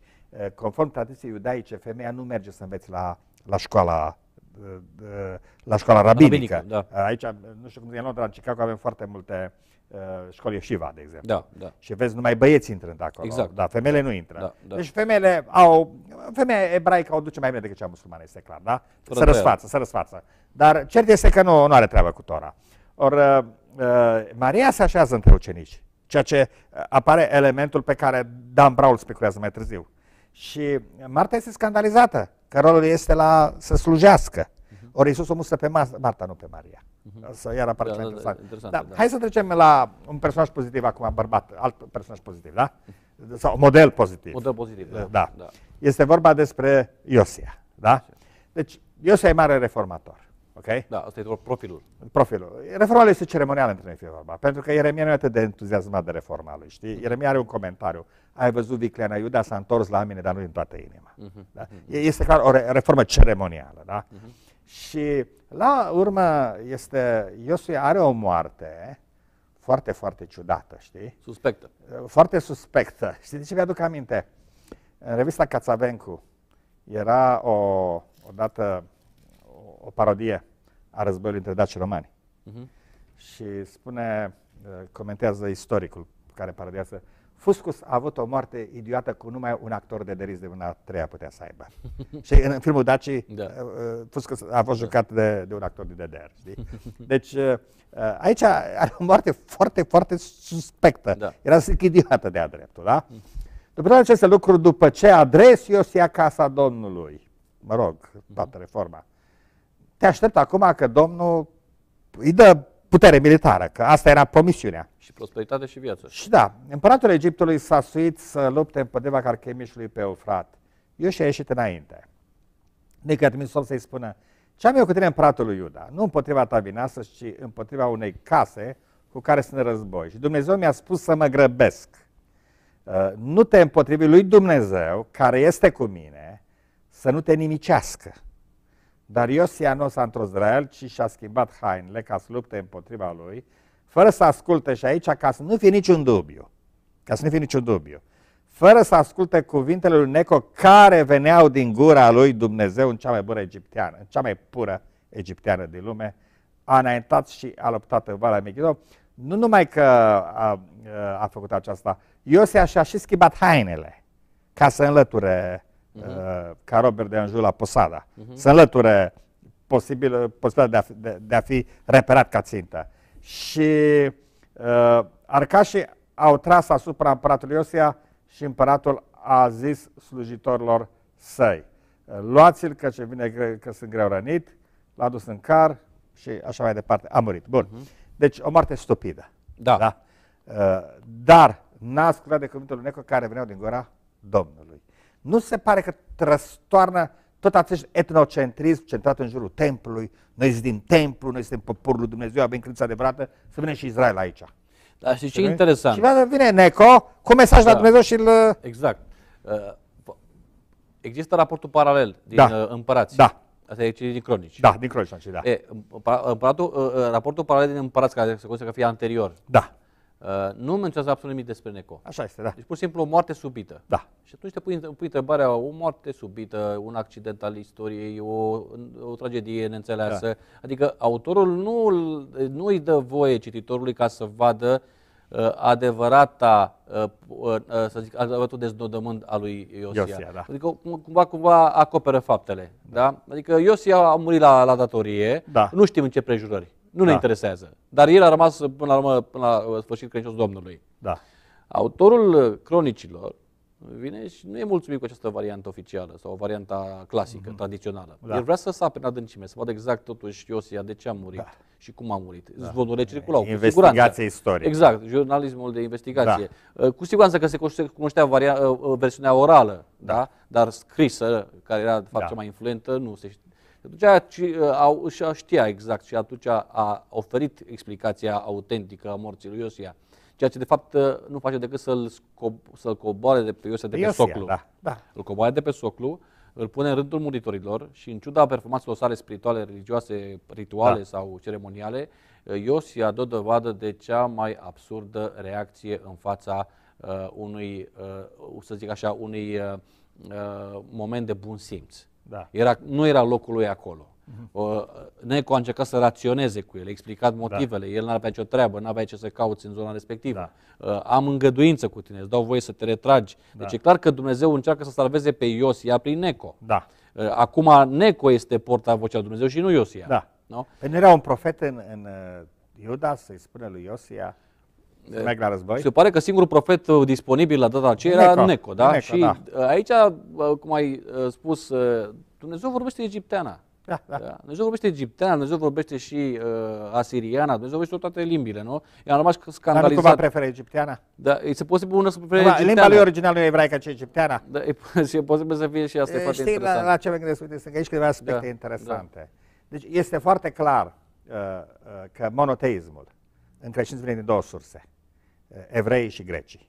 Uh-huh. Deci nu avem nicio doială faptul că monoteismul uh, teologic nu, nu cel uh, religios și teologic. Da? Însuși cuvântul teologie uh-huh. ne vine de la greci. Da? Deci concepția noastră filozofică despre Dumnezeu, cauză primară, agent imobil, uh, nu? Imobil, da. Imobil, da. Uh, omniprezent, omnipotent și așa mai vine, vine de la greci mai mult decât de, de la evrei. Uh, problema este că dacă îl citim pe Plato, dacă îl citim bine pe Plato, uh, realizăm foarte clar că monoteismul grecilor vine de fapt din Egipt. Uh-huh. Că de fiecare dată ori Plato iau ori Socrate, mă rog, ori iau un interviu unui ucenic al lui Pitagora, cum e Timeus, uh-huh. dar când mergem mai departe, și Solon când a fost în Egipt a vorbit cu un preot egiptean și uh-huh. i-a mhm. spus așa. Deci întotdeauna ideea este că au luat din, uh, din Egipt monoteismul. Și atunci pun, întreb, pun întrebarea, nu cumva Dumnezeu a vorbit, uh, pentru că Dumnezeu vorbește două limbi în Biblie, una este ebraica și alta e greaca, uh-huh. da? Și mi se pare normal. Sunt limbile monoteismului. Chiar și aramaica pe locuri. Chiar și aramaica, da. Aramaica este, să zic, ca o, ca o derivat din ebraică. Da, da, este da. Și, da. Aramaica este pentru ebraică ce greaca coine pentru greaca da, clasică. Da, mă rog, da. poate nu chiar atât de aproape, dar, dar ceva oarecum asemănător. Însă, problema este că uh, greaca, dacă greaca e limba lui Dumnezeu ca și ebraica, uh-huh. nu cumva, de fapt, limba originală e egipteană. Uh-huh. Și, și de, de ce spun acest lucru? Și mi se pare interesant. Prima problemă este că atunci când uh, evrei ajung în Egipt, ei se închine unei zeități tribale. Uh-huh. Unei zeități tribale de familie care este Iahve. Uh, cel care se închină creatorului cerului și pământului este Melchisedec, nu este Avram, uh-huh. care e preot al Dumnezeului celui prea înalt. Moise îi se arată Dumnezeu și Moise îi spune că părinții voștri nu m-au cunoscut sub acest nume. Uh-huh. Și numele acest nume este Iahve, este eu sunt uh, cel ce sunt. Cel, cel ce sunt. Care vreau să spun că este cea mai, uh, dar nu cea mai, este singura frază filozofică din tot Vechiul Testament, da? Care, uh, singura frază care o poți băga uh, uh, în partea grecească a Bibliei, nu cea mhm. ebraică. Uh-huh. Eu sunt cel ce sunt, adică este uh-huh. formidabilă ideea, da? Uh-huh. Deci eu, te gândești la, de la Paul Tilici. Deci Dumnezeu nu există, Dumnezeu este baza oricărei existențe. Uh-huh. Da? Deci eu uh, sunt cel ce sunt. sunt. Existența nu e derivată din nimic uh-huh. altceva. Bun, Moise are însă probleme să le vorbească evreilor, nu are probleme să discute cu faraon. Uh-huh. Da? Interesant care problema este că vorbirea lui este încălcită. Uh-huh. El nu poate să comunice cu, cu evrei cu problema aceasta. Odată că, uh, probabil că ori nu poate comunica teologia pe care înțelegea bine la egipteni evreilor, ori Moise nu prea cunoaște bine limba ebraică, ceea ce e de așteptat. Uh-huh. Altă problemă este că este foarte clar că în Egipt a existat un cult secret monoteist. Da. Și aici mie mi se pare că Neco, de fapt, îi spune lui, lui Iosia, eu și la cine te închine, mă închin la același Dumnezeu, uh-huh, ok? Uh-huh. Nu e oficial, e între noi uh-huh, acum, da? Uh-huh. Nu trebuie să știe preoții și ofițerii mei. Dar eu, de fapt, sunt uh, închinător la același Dumnezeu, da? Deci, pentru asta am înțelegere față de tine. Da. da. Nu te pun cu babilonene, cu acadiene, da? Am înțeles față de tine. Noi, de fapt, ne închinăm la același Dumnezeu. Uh-huh. Așa că ia stăpășița de aici, uh-huh. că nu vreau să te omor. Da. Pentru că eu vorbesc din partea același Dumnezeu. Uh, și uh, Moise a învățat toată știința egiptenilor, uh-huh. care nu prea fi altceva că teologie și ceva geometrie uh-huh. la data aceea, uh-huh. altceva știință ce putea să învețe, mă rog, cum să, cum să facă mâmii, probabil că nu era treaba da. lui. Însă și originalul lui Moise este dubioasă. Ca să vă spun sincer, uh, ideea e cu sută coața albă, cu coșulețul. Uh-huh. Și n-ar fi cu sută coața albă dacă n-ar fi de o mie de ani mai veche decât Moise. Istoria lui Sargon cu coșulețul pe Eufrat. Prea la ajunge la grădină, dar prea cu sută coață albă istoria lui, lui, lui, lui Moise. Și întrebarea este dacă Moise nu cumva a fost egiptean, de fapt, uh-huh. cu toate problemele de limbă, și dacă nu cumva uh, monoteismul ca, ca, ca concepție filozofică, teologică, nu Dumnezeu tribal, Iahve, uh-huh. nu vine de fapt de la egipteni. Uh-huh. Deci vreau să spun că Necomie îmi deschide aici o, o portiță. Nu că ar fost religia oficială, pentru că a fost încercat odată uh, uh, pe, pe vremea lui Tutankamon, de exemplu. Uh-huh. Da? A fost încercată, a fost, se pare, asasinat uh, uh, uh, și sunt poate și un henoteism.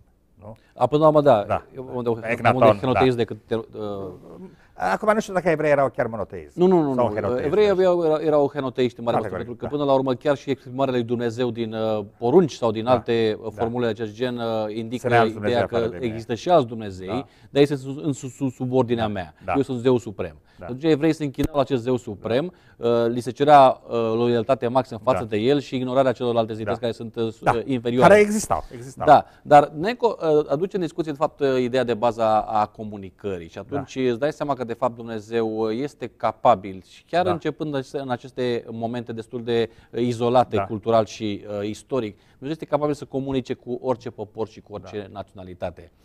Am rămas șocat când uh, da, da, pe YouTube auzi, am... Pe, uh, pe Iosia să-l învețe egipteanul. Da. Eu înțeleg că Dumnezeu comunică exact. și cu nenorocitul ăla, exact. dar Dumnezeu comunică evreului prin egiptean. Dar nu numai asta, pare... nu numai asta, dar vreau să, fac, să, să, să aduc în discuție o idee, uh, și anume, am văzut pe YouTube o, o, o mărturie da. foarte euforică a unei domnișoare care îi mulțumea lui Dumnezeu că i-a lovit pe japonezi da. prin acel cutremur și da. tsunami. Da. Da. Și uh, uh, ideea este în felul următor chiar nu e Dumnezeu capabil să vorbească japoneza? Da. E nevoie să folosească da. Uh, seisme, uh, tsunami și da. fel de fel de uh, alte manifestări teribile ale naturii uh-huh. ca să le comunice un da. presupus adevăr. Da, da, da, da. Adică vreau să spun că Dumnezeu e capabil să comunice, nu numai la, în sensul formal, în toate sensurile posibile. Uh, Dumnezeu nu este etnocentric, Dumnezeu nu este uh, tribal, nu este național, nu este, uh, să zic așa, statal. Da. Dumnezeu este universal. Da. Indiferent cum îl percepem noi, dar Dumnezeu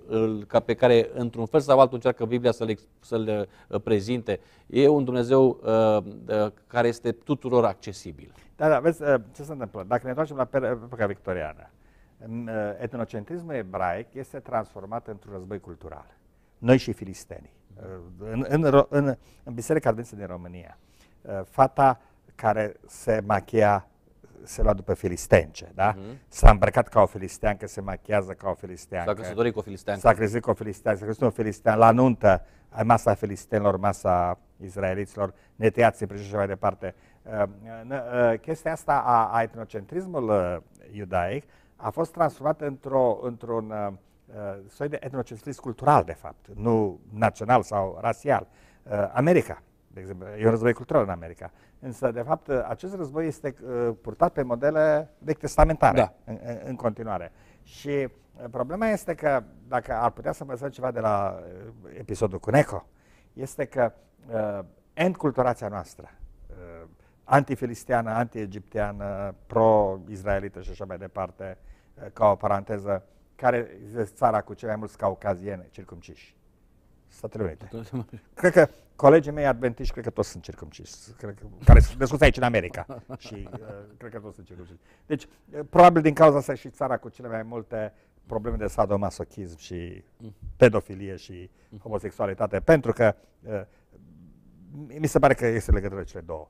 Însă, e clar că această identificare, poate avem o altă discuție, a Americii cu Israel, da. acest mit a Americii ca noul, ca noul Israel, care este un Israel cultural și pe care noi am moștenit-o în America, în, în România. Și când m-am vindicat eu de ea, deci așa se explică, noi suntem Israelul, ei sunt. M-am vindicat că când am ajuns în America. Uh-huh. Și am înțeles că frații mi-a spus, oi fi tu Israel, dar ești Urie Hetit în Israel. Uh-huh. Adică Israelul suntem noi. Uh-huh. Tu românul, de fapt. Nu ești izraelit pur sânge, ești izraelit uh, care a intrat în Israel. Uh-huh. Și uh, a, a fost ca o, o trezire pentru mine, deci nu spun că dialogul a avut loc chiar așa. Da, da, Dar în, după 2 sau 3 ani de contact cu, cu o biserică americană, cu o biserică americană din Sud, am înțeles foarte bine uh, că uh, izraeliții sunt de mai multe feluri și eu eram acum urie sau, mă rog, un, un oarecare prozelit uh-huh. în mhm. Israel, uh-huh. ca român. Uh-huh. Dar cert este că cultural, cultural, modelul a fost foarte, foarte puternic uh, împrumutat și mi se pare că ideea lui Neco este o formidabilă, nu ne spune numai că Dumnezeu vorbește egipteana, ne spune și altceva, că s-ar putea ca să pierim ca denominațiune și ca mișcare din istorie, dacă nu acceptăm că Dumnezeu vorbește egipteana. Uh-huh. Și dacă nu învățăm limba asta. Și dacă nu învățăm limba da. Mulțumesc, Sorin, mulțumesc mult pentru discuție. Sper să, înainte de a pleca la Londra, sper să mai uh, ne ofere asemenea... Toată plăcerea. Uh, mulțumesc. La revedere. La revedere.